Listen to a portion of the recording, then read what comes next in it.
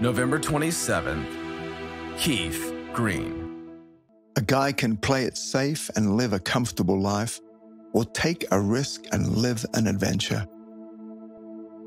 Keith Green's next move shook the music industry to its core. He's going to do what? Why? That's not generosity, it's foolishness. And not only that, it's going to make everyone else look greedy. As a Christian musician in the 70s and 80s, Keith Green set a high bar. His life reflected the words of his songs. He lived what he preached. Green had an intense love for Christ along with a radical commitment to serve others. Most Christians steer away from radical Christianity. They live small lives and forget they are serving a big God. But Keith and his wife Melody decided that compromising their beliefs would be hypocritical. So they made difficult choices to live out their standards. It would mean standing out and risking rejection and ridicule. To live the radical life God wanted for them, the Greens chose first not to worry about money. Before they became Christians, they had been generous, always inviting people to stay with them but after they became Christians, their generosity grew. With their first free fall of money, they bought two houses and rented four more to house anyone who needed shelter. Even in the hippie culture, which was still prevalent, this was a radical move. When Keith signed on with Sparrow Records, a Christian record label, money started pouring in. SaferNet is a VPN designed for families. Get daily updates, block sites, and even disable apps.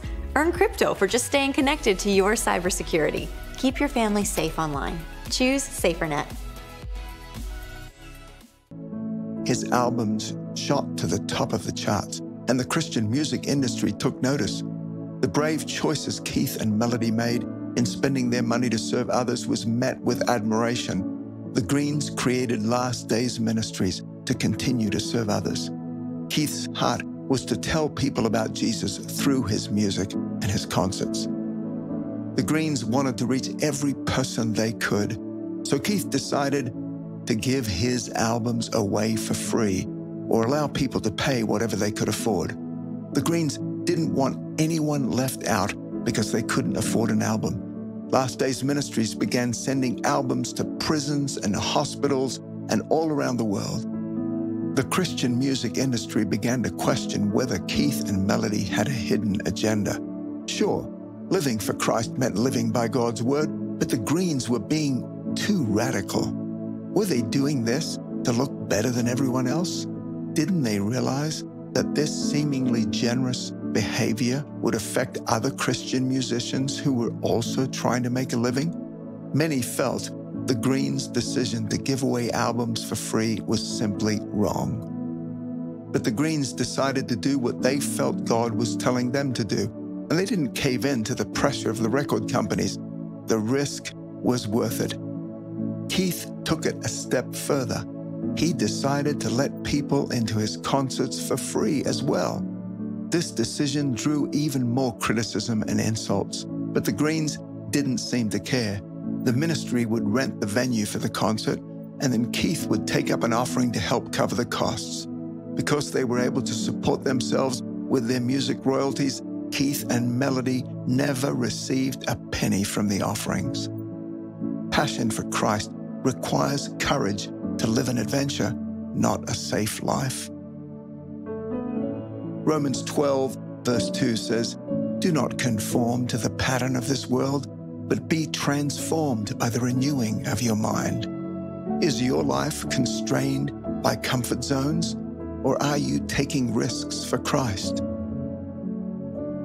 A guy can play it safe and live a comfortable life, or he can take a risk and live an adventure.